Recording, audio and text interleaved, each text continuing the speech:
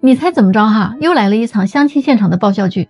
三十九岁的男士和三十六岁的女士第一次见面，在咖啡馆里，哥们一开口就问：“你房子买了没有啊？”女士说：“没有啊，北京的房子这么贵，哪能说买就能买的呀？”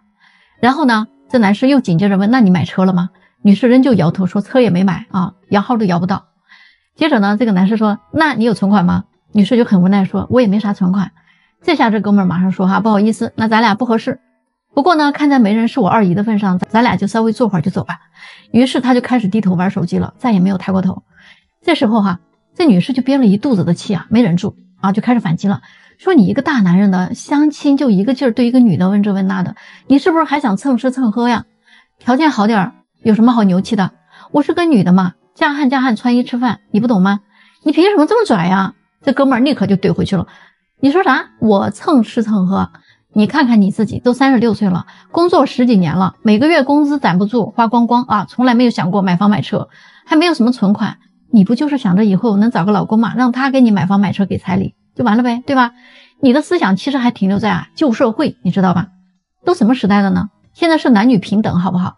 我读书，你也在读书；我赚钱，你也在赚钱，甚至啊，你可能比我赚的还多。以前的女孩子连驾照都没有，而现在呢？不但能开滴滴，还能开动车，还有当宇航员的啊！国外啊都有女总统。那既然男女都平等，为啥光让我一个人买房买车呀？你根本就是想索取嘛！啊，你啥都不想干，那我还谈什么呀？这女生立马就反驳了哈，我是女人呐，要生孩子的呀！男女能真正平等吗？生孩子可是跑一趟鬼门关呐！难道你们男的不应该给我们补偿吗？这哥们儿就说了哈，别，我可不一定想要孩子啊！你生的是孩子，又不是生的我。你可别找我补偿，我又不指着他给我养老，而且呢，现在很多都是养儿啃老，好不好？以后啊，他要是赚到钱了，愿意孝顺你，那是你的事儿，跟我没关系。啊，要说补偿，那我不也得该补偿我妈吗？对不对？这个男的啊，我觉得他真的是太会怼人了啊，真的是个能说会道的主。但是大家觉得他说的到底对不对呢？咱们到评论区聊一聊呢。你完全想不到哈，在有钱人的眼里啊，这些姑娘是绝对不能娶回家做老婆的。这个是我前几天跟一个大佬聊天的时候呢，我才知道的。人家真的是哈人间清醒，大家也可以来看一看哈，他分析的到底对不对？第一类就是资料上写着喜欢打高尔夫球的，他认为呢，这种女生如果哈不是家庭条件特别好，比较清闲，喜欢这种运动的话，大部分一般普通女生喜欢玩这个运动的。其实都有一个原因，我就不细说了哈，懂的人都懂。第二种呢，就是在金融行业工作的女生，这类女生啊，见过很多大佬级别的人，他们在工作当中会接触很多很多有钱的人，她会莫名其妙把自己摆放在这个阶层或者呢这个群体里，所以他们会找对象的时候，把物质生活或者物质条件会放在第一位的，不管自己呢配不配。第三种啊，就是普通的家庭，收入也很一般的女生。你看他如果穿一身的名牌，拿的包也好几万，开的车也很贵，那这种女生啊，也绝对绝对不能要的。短则一下呢，可能会考虑娶回家呀，就算了吧。最后一种哈，就是所有艺校的漂亮女生，也一样，基本他不会娶。他说就一个字儿哈，丧。他是一个创一代嘛，四十多岁了，离过一次婚，见过很多人，也非常了解人性。他的观念呢？我其实不止一次哈听到过同级别的大佬聊过，所以我觉得虽然不能全部一概而论，但是这个论述哈已经基本上代表了他们这个群体的普遍认知了。大家觉得是不是？当今的婚恋现状哈到底是什么样的呢？那天我在直播间呢，有人就让我聊聊这个问题，那今天我就给你们分析分析。第一哈，如今的八零后啊已经凉凉了哈，一大批的未婚单身，可能他只能孤独终老了。还有一大批的离异单身，他也找不到对象。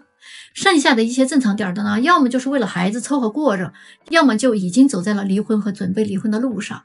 那现在的八零后哈，真的是压力山大的一批人。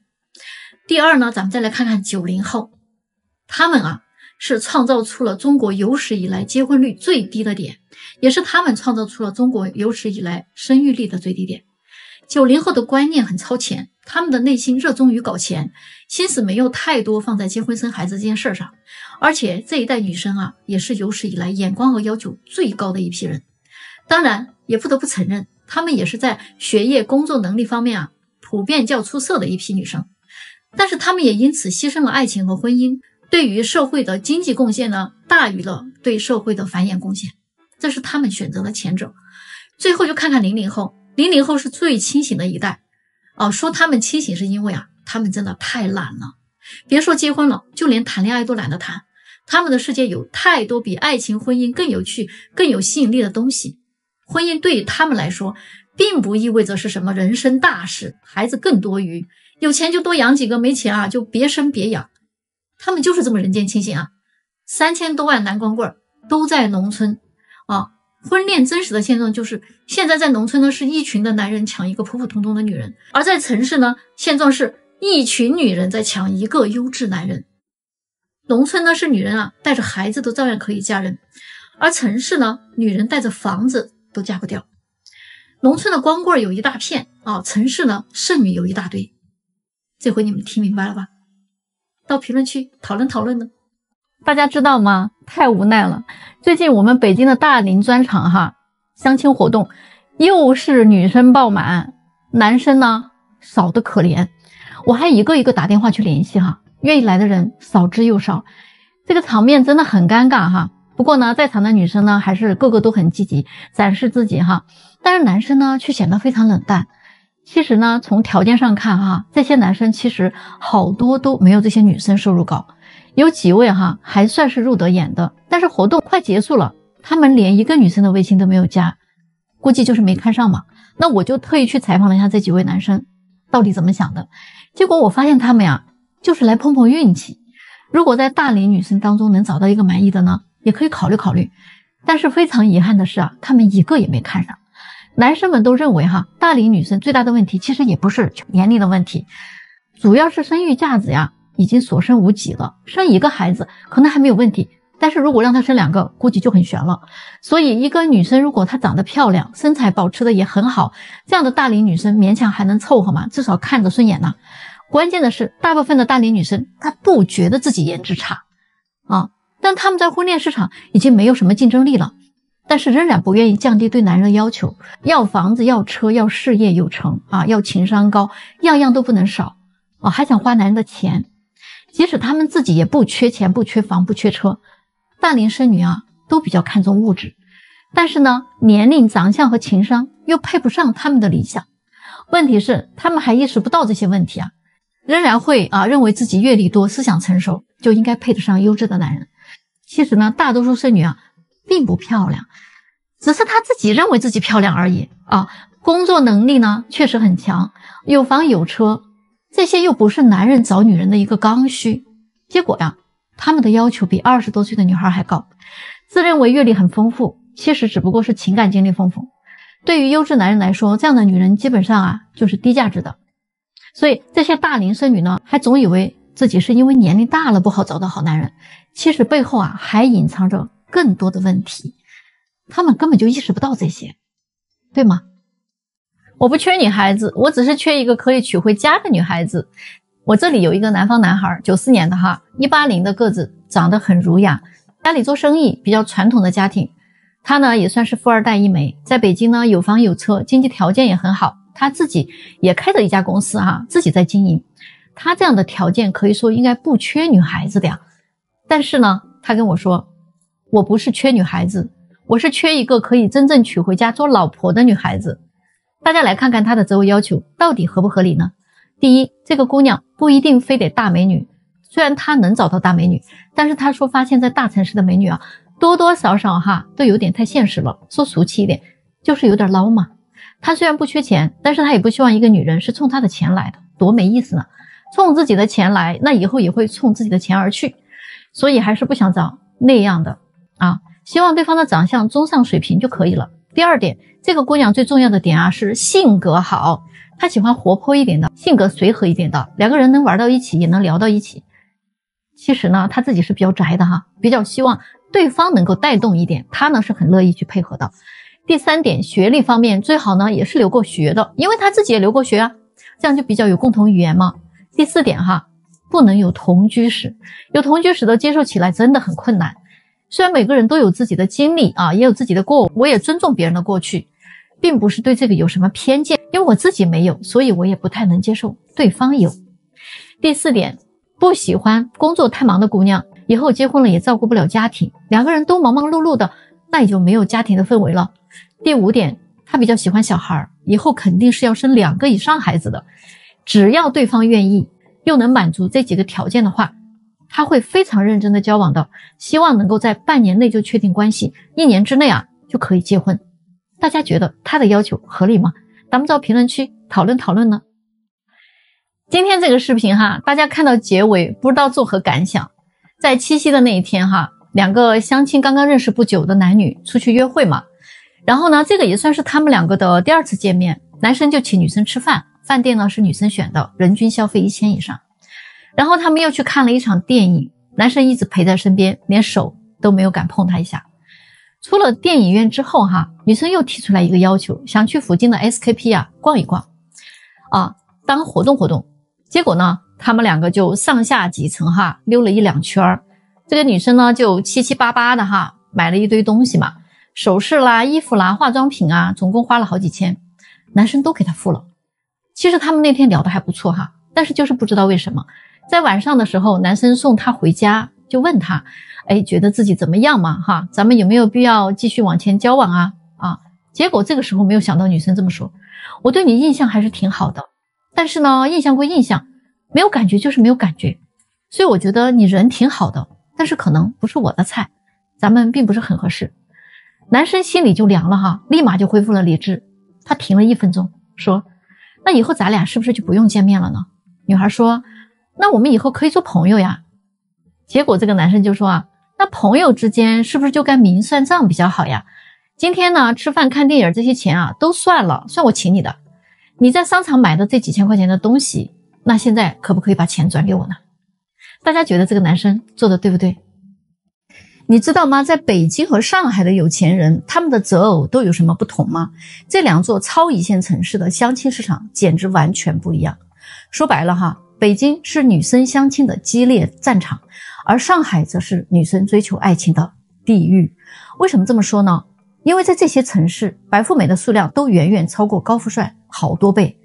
我们先说北京，这里的男生啊，在漂亮的女生当中更青睐那些体制内高学历和有京户的女生，因为这些东西它意味着资源嘛。而在北方男生的眼中啊，只要你有一两个特别突出的优点就可以啦。比如说你比我小十岁啊，年轻漂亮，又是名校毕业，哎，性格还不错，那就 OK 啦。但是在上海情况就完全不一样，上海的人呢择偶标准呢更严格，他们讲究各个维度都要均衡。如果我有一个亿，那你也得有一个亿，我们互相都不占便宜。比如一个女生名校毕业，年轻漂亮，可家境一般，她在北京可能还能找到一个条件不错的男朋友。但是在上海几乎没戏，大概率他是进不了豪门的。所以说，同样是择偶，京沪两地可真的是大不同。你们怎么看呢？欢迎到评论区讨论一下。姑娘们找对象的时候，哈，有没有遇到过这种情况呢？你讨厌烟味儿，你却偏偏给自己找了个老烟枪，然后你指望他戒烟；你喜欢有人陪伴你，结果偏偏找了一个总爱跑出去浪的男友，你还强迫他。多陪陪你，你想要过上很富裕的生活，却偏偏跟一个一点上进心都没有的人在一起了很久。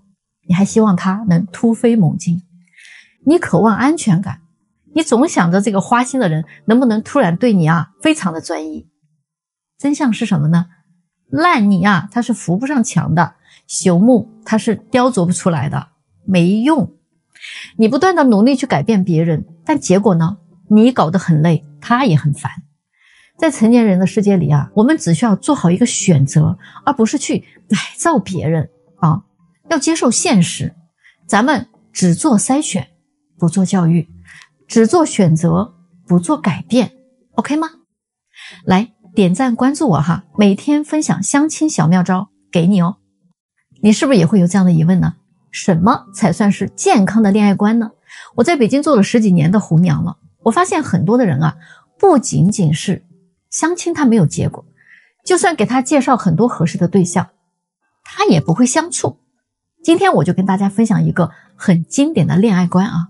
其实我们不需要天天黏在一起，也没有必要时时刻刻用聊天来维持感情。我希望我们在忙碌的时候呢，彼此都专注各自的事情；当我们闲下来的时候，心里都装着彼此就好了。更重要的是呢，我们要互相牵挂，真诚相待，自觉的跟异性保持一定的距离，哪怕没有初次见面的那种新鲜感了，啊，也愿意为这段感情啊而去努力。如果有什么不满啊，就开诚布公的说出来呗，及时的解决问题，而不是憋在心里，直到忍无可忍了才爆发。我可以不懂爱，但我知道，我时常会想起你，生活中的点点滴滴都想与你去分享。你回消息的时候呢，我很开心；你忙的时候呢，我也能理解你。只要你忙完了以后呢，再联系我就好了呀。我就是想告诉你，你不是我深思熟虑之后的选择，而是我一眼心动之后，无论如何都愿意坚持的决定。这样的恋爱观是不是谈得很宽心？很舒坦呢，评论区说一说你的观点吧。关注丽心姐，天天给你分享相亲小妙招。明天见哦，姑娘们哈，放下一段感情最好的方式是什么呢？在我十二年的红娘生涯里哈，我经常都会看到那些还没有完全放下前任的姑娘们来相亲。其实呢，真的你是徒劳的。你以为可以用相亲这种方式哈，快速的找到一个男朋友，然后呢就可以呢去麻痹自己。忘记你的前任，但是这是一种于人于己都非常不负责任的行为，对吗？我在这里给你几点建议哈。第一，先不要来相亲，不要找对象，你好好的先梳理一下自己的心情，调整好你的心态。第二点呢，摸着自己的良心对自己说一说，我已经尽力了，我没有不清不楚的关系了，我也没有对你权衡利弊，我该放下的自尊，我曾经也放下了。该做的妥协我也做了，遗憾的那个人不应该是我的。第三，我现在不得不放下你了，不是因为我不在乎，而是因为你不在乎。我曾经带着百分百的勇气和诚意奔向你，可是你却在权衡利弊。我也清楚的知道，当然我们不可能再回到以前，不可能再和好如初，所以我必须断得干干净净的。我才能更加的快乐。无论你在我心里下过多大的雪，我都要收拾好心情了，要奔向未来的春天。这样的你才能完好的交给自己的未来啊，对吗？来关注我哈，每天分享更多小妙招。明天见哦。昨天呢，有一对来相亲的哈，女生屁股都没坐热呢，男生转身就要走。两个人刚刚坐下，男生就问女生工资多少，女生说大概五千多。男生就接着问：“那你们家家庭条件是不是特别好啊？”然后女生说：“我没有啊，我们家普通家庭，父母都是普通工人。”男生听完哈，就迟疑了一下下哈，就说：“那我一会儿还有事儿，那我就先走了，咱就不聊了。”然后女生就说：“你啥情况啊？一来就问收入，你是来相亲还是来找富婆的呀？”男生说：“你别误会啊，我就是觉得呀，我们俩可能有点不合适。”女生就很纳闷儿，问：“你觉得就哪儿不合适啊？”男人说：“你要是非要问的话呢，那我就给你讲一讲哈。我一进来啊，就看到你背的这个包包了，至少这个包都得三五万。但是你的工资只有五千多呀，而且你的父母还是普通工人，家境也不算富裕。如果说在这种情况下，你还能买个几万块钱的包包背，无非就有三个原因嘛。第一个就是可能哪个大哥送你的，那为啥大哥要送你这么贵的包啊？”大家都是成年人嘛，对吧？心知肚明。第二呢，就是你可能是刷信用卡分期买的，那我要是跟你在一起了，还不得跟你一起还呢？第三呢，就是这个包啊，可能是个假的。如果说咱买不起啊，咱不买也罢了，那非得买一个假的充面子，那不是就很虚荣吗？女生就很不服，说那这是我自己攒一两年前买的，还不行吗？男生说，那你如果每个月。省吃俭用，勒紧裤腰带啊，一两年就为了买一个华而不实的包包，那也证明啊，我们的消费观真的不合适。大家觉得这个男人的判断对不对呢？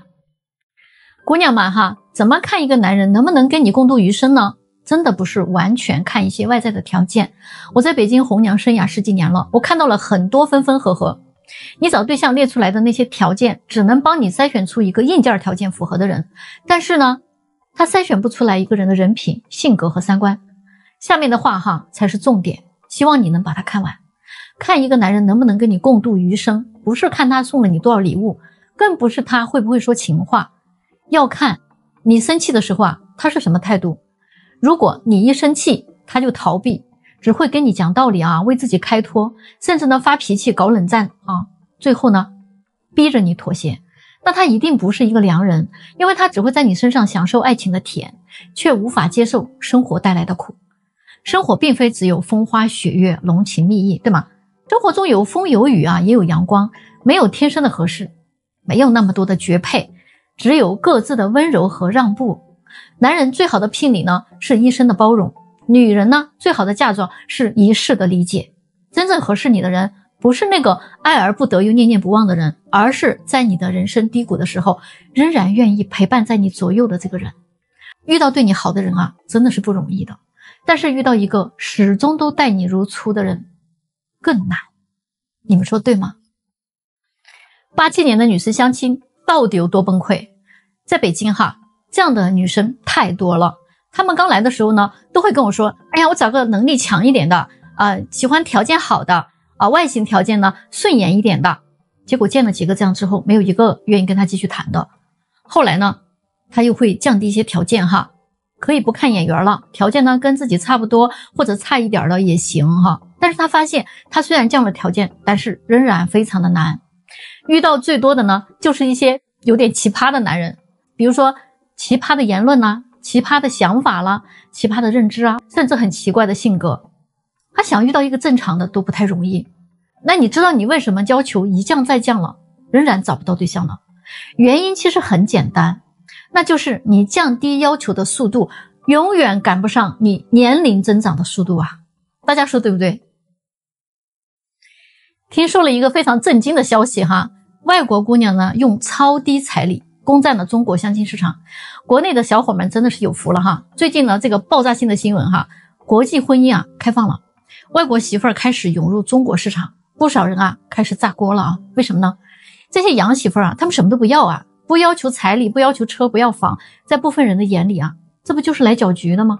尤其之前有个俄罗斯姑娘嘛，因为人家不要彩礼，被喷得狗血淋头，说他在扰乱市场啊。有男网友啊就跳出来说嘛，外国女友就是好，尤其是东南亚的啊，踏实能干，要求也低。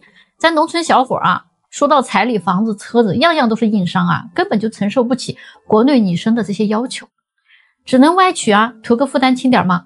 但是很多国内的女网友啊。他们就不买账了哈，他们觉得外国的妹子哈，语言文化又不通，生活习惯差异又这么大，你娶回来不是更容易产生家庭矛盾吗？你们这些男的有没有好好想过这些问题？男女之间啊，已经吵得不可开交了哈，但是外娶已经成风了啊，是铁定的事实，已经有数据证明了嘛？可能啊，这个数据会亮瞎你的眼睛哦。二零一八年外娶的比例已经超过了外嫁。二零一九年，男人外娶二点九万，比外嫁要多了一万多。中国男人啊，近百分之六十都是愿意娶一个外国媳妇儿的哈。听说在广西啊，非常逆天，有十对外籍婚姻里面就有九对是越南新娘。地方上呢，甚至会流行这样一句话哈：没娶个越南媳妇儿回家啊，都好像不好意思说自己结婚了。为啥这么火呢？你想想，越南他那个月薪啊，还不到两千两百元人民币。国内的月入过万的小伙在相亲市场上几乎没戏，但在东南亚姑娘的眼里啊，月入五千都已经很香了，什么车呀、房啊、彩礼都不用哈，只要看中了就愿意嫁。而且呢，不只是东南亚，俄罗斯这些国家的女孩也都抢着要嫁到中国来。其实说实话哈，中国男人在国际上的口碑还真是不错的，在国外妹子的眼里呢，欧美男人太随性了，hold 不住；日韩的男人呢，大男子主义啊，太难受了。中东的男人就没法提了哈，那所以中国男人呢，既勤劳啊又体贴，还很上进，对女人还很温柔，就是他们的梦中情人啊。在俄罗斯，如果两家合得来的话，女方的爸妈还愿意倒贴买房买车，就为了找个踏实的人家啊，让自己的女儿过得好一点。对比咱们国内哈，形势真的有点心酸，有些城市的男女啊，比例都高达一比四十了。那些年薪二十万以下的小伙子根本就没有竞争力。反观那些月收入才三千的小仙女啊，却嫌弃那些月入三万的小伙子达不到他们的要求，哈，没有豪车，没有豪宅。那在这样的市场环境下，如果是你，你会怎么选呢？你们猜怎么着哈？又来了一场相亲现场爆笑剧。三十九岁的男士和三十六岁的女士呢，第一次见面啊，就在咖啡馆里。哥们儿一开口啊，就问你房子买了没？女士回答说没有。哦，北京的房子这么贵，哪是能想买就能买的？然后呢，他紧接着又问那车呢？女士依旧摇头嘛，哦，还是没有买，也摇不到车牌号呀。接着呢，他就瞪大了眼睛，那你有存款吗？女士就很无奈说，我也没啥存款。这下哥们儿就马上说不好意思，那咱俩不太合适。不过呢，看在媒人是我二姨的份上，咱俩就稍微坐会儿就走吧。于是呢，就开始低头玩手机了，再也不抬头。这时候呢，女士憋了一肚子气哈，没忍住，开始反击了，说：“你一个大男人啊，相亲就一个劲儿对一个女生问这问那的，你是不是还想着蹭吃蹭喝呀？条件好点儿就牛气冲天了。我是个女人，嫁汉就得穿衣吃饭，你不懂吗？你凭啥这么拽？”这哥们儿哈，立刻就怼了回去：“你说啥？我蹭吃蹭喝？你看看你自己，都三十六岁了，工作十几年。”啊，每个月的工资攒不住，花的光光的，从来没有想过买房买车，还没有什么存款。你不就是想着以后能找个老公啊，让他给你买房买车，给你彩礼就完了呗，对吧？你的思想啊，其实还停留在旧社会，知道吗？都什么年代了，男女其实是平等的，好不好？我读书你也读书，我赚钱你也赚钱，甚至可能你赚的比我多。以前女孩子连驾照都没有，现在呢，不但能开滴滴啊，还能开动车。还能当宇航员开火箭呢，国外还有女总统。既然都男女平等了，为啥光让我一个人买房买车呢？你根本就是想索取啊，啥都不想干。那我还谈什么呀？女士立刻就反驳了啊，我是女人呐，我是要生孩子的呀。男女真的能平等吗？生孩子可是跑了一趟鬼门关，难道你们男的不应该补偿我们吗？这哥们就说了啊，别，我可不一定想要孩子啊，你生的是孩子。你又不是生的我，你找谁补偿啊？我又不指望着他给我养老啊！而且现在很多都是养儿啃老，你知道吗？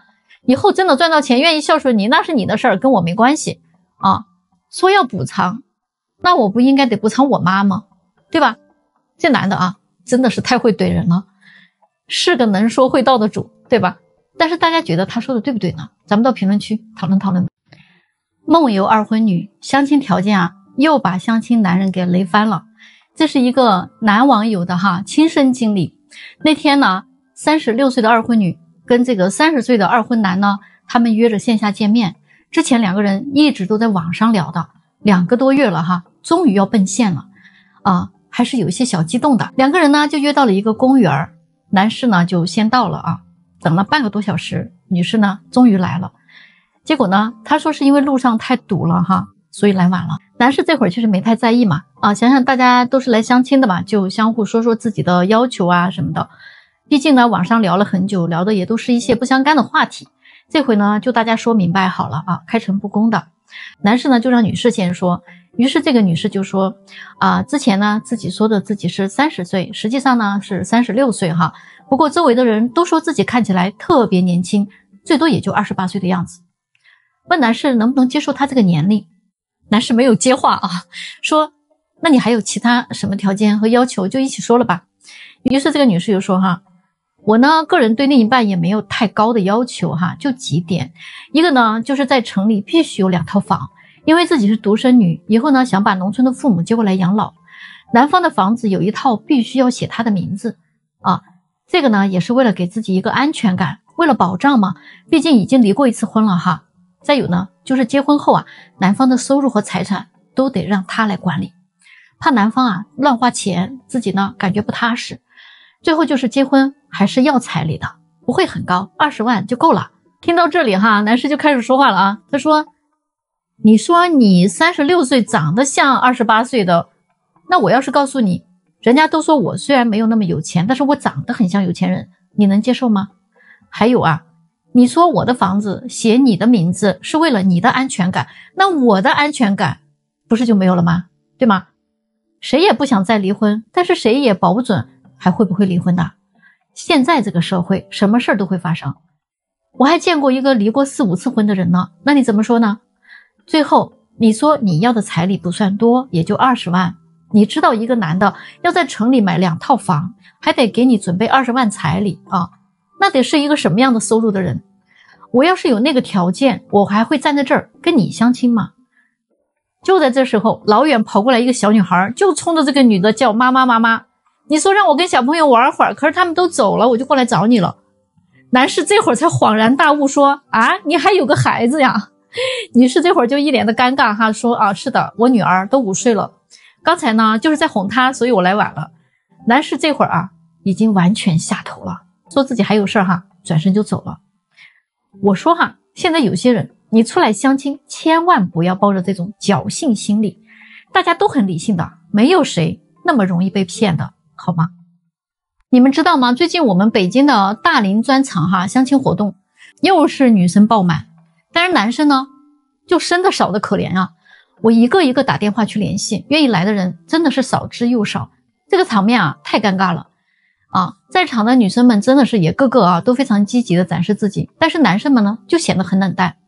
其实从条件上来看，这些男生有好多确实还不如这些女生，有几位啊算是啊入得了眼，但是活动快结束了，他们连一个女生的微信都没有去加，估计都是没有看上呗。啊，就那我就特意去采访了一下这些男生的想法，结果啊发现他们就是来碰碰运气的。如果在大龄女生当中能够找到一个满意的呢，也可以考虑。但是遗憾的是，他们觉得一个都看不上。男生们认为，哈，大龄女生最大的问题啊，其实并不是他们的年龄，而是他们的生育价值真的所剩无几了。生一个孩子可能是没问题，但是生两个的话，估计就悬了。所以，一个长得漂亮、身材保持的很好的大龄女生，勉强还能凑合哈，至少呢看着顺眼嘛。关键的是哈，大部分的大龄女生她不觉得自己颜值差呀，啊，但是他们在婚恋市场已经没有了竞争力。却仍然呢不愿意降低对男人的要求，要房子要车要事业啊，要情商高，样样都不能少，还想花男人的钱，即使他们自己也不缺钱，也不缺房，也不缺车。大龄女生非常看重物质的，但是年纪、长相、情商又配不上他的理想啊。问题就是他们还意识不到这些问题啊，仍然会以为自己啊啊阅历多、思想成熟啊就应该配得上优质男。其实。大多数的剩女并不漂亮，只是她们自己认为自己漂亮。工作能力强，有房有车，也不是男人找女人的刚需啊。结果，他们的要求比二十多岁的女生还要高。那自认为阅历丰富，只不过是情感经历丰富嘛。对于优质男人来讲，这样的女人根本就是低价值的。这些大龄剩女呢，总以为是因为自己年龄大了才找不到好男人，其实背后还隐藏着更大的缺点，她们自己根本就意识不到这些。大家说是不是呢？这样的奇葩哈，你们有没有见过呢？北京有一个九零年的男生呢，经过他的父母哈介绍，认识了一个九八年的女生，他们双方呢聊天大概聊了两周左右哈，这个姑娘啊总算是有时间出来见面了，两个人呢就约在饭店吃饭嘛，啊。男生呢就比较客气哈，为了展示自己的绅士风度嘛，就让女生点菜。这个女生啊，一点就点了七八个菜哈，一看这个量，他俩根本就吃不完。但是呢，这个女生点完菜以后啊，还跟男生说：“你知道吗？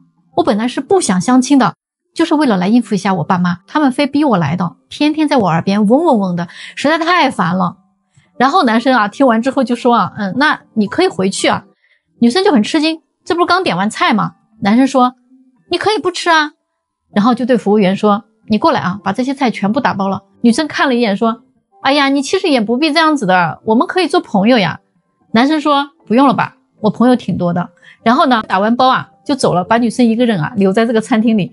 咱们觉得这个男生做的对不对呢？你有没有经历过那种查户口式的相亲呢？这个哈是非常多的女生比较容易啊犯的一个毛病。今天我们就来聊一聊哈，相亲的时候绝对不能聊的一些话题。第一啊。别上来就查户口啊！别一坐下来就问对方你的工资啊、你的收入啊、房子、车子、存款是什么情况啊？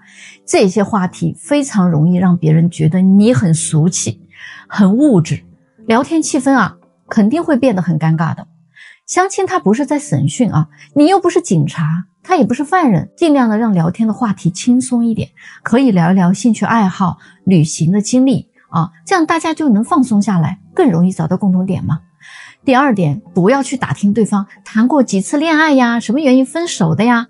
啊，如果是离婚的，也别总去问人家，那你跟前妻还联不联系啊？啊，你们的孩子都怎么安排的呀？你问这种问题哈，真的感觉特别没劲。对方也许他根本就不想提这些事情，那你不是成了哪壶不开提哪壶了吗？对吗？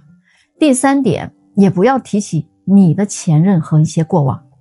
就算我们是非常诚实的人，那在这个时候呢，也不要跟对方去提你的前任啊，什么你们同居了多久呀？你们经历了一些什么事儿啊？前任多坏呀？这一类的话题啊，这一类的东西，一定要留到你们熟悉了之后，你再去跟他聊啊，否则的话。对方不但可能不会接受你的这段经历啊，还很容易啊对你彻底的下头，连下一次约会都不会有想法了。那还有最重要的一点，切记切记哦，不要在相亲的时候不停的回信息、接电话之类的，你会给人一种不被尊重啊、不认真的感觉，这样的相亲成不了的啊。相亲是一次了解对方的机会，对吧？那你在尽可能的去展示自己的同时呢，也要多给对方一些表现的机会。关注我哦，每天都给你们分享很多的实用小技巧。姑娘们相亲的时候有没有踩过这些雷区哈？今天我给大家总结几个相亲中的大雷区，千万别踩。首先哈，避免自降身价，不要着急展示自己有多能干呀，多懂事啊。你不是来找工作的，而是来找伴侣的，对吧？相亲讲究的是平等互换的价值，过度的谦让只会让你显得很廉价。第二点，别把前任总挂在嘴边，无论条件有多好，曾经你们多相爱，都已经是过去式了。提起前任，只会让对方认为你还没有放下，这绝对是很劲爆的减分点啊。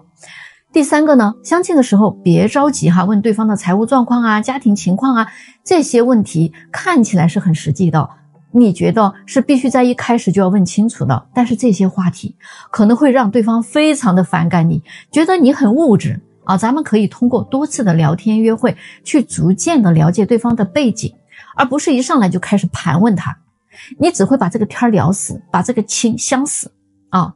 第四点呢，不要过于的依赖化妆品。你自然一点，美妆固然重要，但赤裸裸的依赖化妆品遮盖自己的一些真面目，到头来见光了，不也会分分钟死掉吗？对吗？最后一点非常重要，不要一上来啊就打探人家的一些私事儿。刚认识的人对隐私还是要尊重的，慢慢的了解比直接的询问容易建立信任和舒适感。比如前任分手的原因啊，这真的是个大雷区啊。下次相亲记得绕开这些话题哦。如果你有更好的建议，可以到评论区告诉我，关注一下哦。下期分享更多相亲小技巧。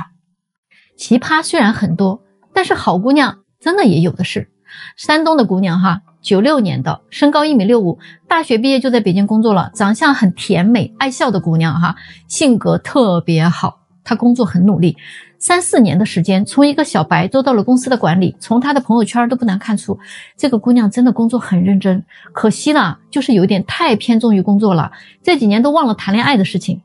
她说之前她也谈过哈，只不过呢，都是时间挺短的，好多时候都是因为对方觉得她工作太忙了，大家逐渐就冷淡了。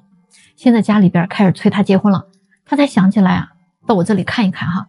想找一个踏实一点的男生，大他八岁以内都可以接受，身高一七零以上就行了。重点是男生必须比较上进，不介意男生在北京还没有买房，只要努力，他可以跟他一起买。这个方面啊，他不是很强求的，毕竟现在的经济也不是很景气嘛，北京的房子又那么贵，非要让自己在北京找一个已经有房子的，那可能又担心被人家看不上。现在北京单身女性又这么的多，这不就是在耽误自己的时间吗？她比较喜欢呢，爱运动的男生，有上进心啊，正能量的就好了。如果现在谈恋爱啊，他也愿意多花一些时间在这个事情上，专注一点，希望能够在这里遇到他的有缘人。大家觉得他怎么样呢？到评论区留言讨论哦。如果有一天你不得不面临要选择一个大龄剩女的时候，你怎么判断她是不是可以娶回家的呢？我们常常说大龄剩女啊，性格有问题，认知也有一些问题，拜金、刁钻、古怪。但是呢，话又说回来啊，咱也不能以偏概全，一棒子全部打死掉。其实有一部分大龄剩女她是可以娶的，基本上啊不会有大问题。但是你一定要观察以下几个方面进行判断才行。首先。你们出去约会的时候，他会比较懂分寸，会在花费上愿意跟你一起分担，不会对你的买单行为表示理所当然。并且他也不会介意约会场所的档次高与低，不会太虚荣，也不会因为你哪个细节做的不到位就给你摆脸色，让气氛变得尴尬。另外呢，要观察他的消费观。如果他一个月就挣八千，恨不得他要买套衣服，半个月的工资就没了，这样的肯定不行，基本上就是个月光族，根本不会管理财务。一个大龄剩女如果这样超前消费，估计她也不会有什么存款的。这种女人娶回了家呀，那肯定就是一个败家娘们了。你有一座金山也不够她挥霍的。这种人啊，就是拜金女，绝对不能娶。第三呢，你看她在各种生活细节上是不是挺能照顾别人的感受啊？如果他只考虑他自己舒不舒服，不管别人乐不乐意，那他一定是个很自私的人。这种人是没法在一起生活的。你们就算在一起，你也很难融入他的世界。他读惯了，他不会照顾别人的。往往啊，这种人情商还很低的，他说话会很直，容易伤人，甚至啊很情绪化。这一类就是属于性格古怪的，你敢娶吗？你娶了她，那你今后人生中的风雨可能都是他带来的。最后呢，就是交往中他会比较积极主动，回复信息也会很快，偶尔也会主动的约你，不会总是说自己很慢热，也不会让你追得很累。你给他送个礼物，他一定会回馈你一个惊喜，并没有占你便宜的心理，并且对于婚姻他也有理性的认知，能够接受生活的平淡和爱人的平庸。不会拿你和别的男人去做比较，不会抱怨你挣钱太少，他也不会天天的天马行空幻想和怀抱一些不切实际的期待。反之，那是不能娶的，否则时间长了谁都受不了的，活脱脱的精神病。